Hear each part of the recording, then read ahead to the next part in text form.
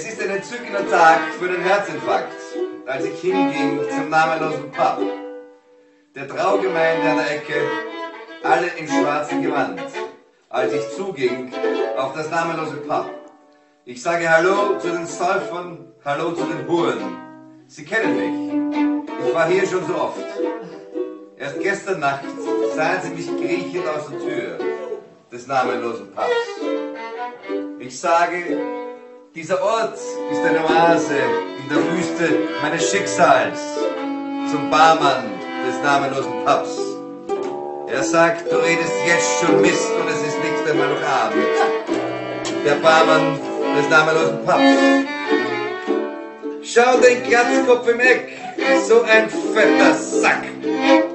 Wie ein Baby mit Fahrradpumpe aufgeblasen ein Amputierter hält sein Bier zwischen seinen Stummeln. In dem Pub, dem namenlosen Pub. Den Hausherrn quält Stottern und Lispeln. Der Hausherr des namenlosen Pubs. Er verkauft keine Nüsse. Er verkauft keine Chips. Der Hausherr des namenlosen Pubs. Nimmt keine Schecks. Und der Dreck interessiert ihn nicht. Verpiss dich! Und trink anderswo, Kumpel, wenn es dir hier nicht passt. Unter der Bar, dort hat er einen Baseballschläger. In den Pub.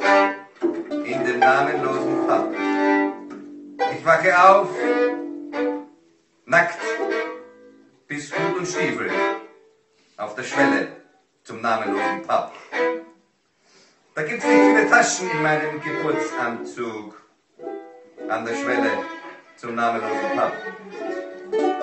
Immer war ich ein Nehmer, niemals ein Geber. Splinternackt geh ich durch den Park, unverkennbar mein Geschlecht. Ich werde den Richter sagen, ich kam von einer Sauferei in den Pub, in den namenlosen Pub.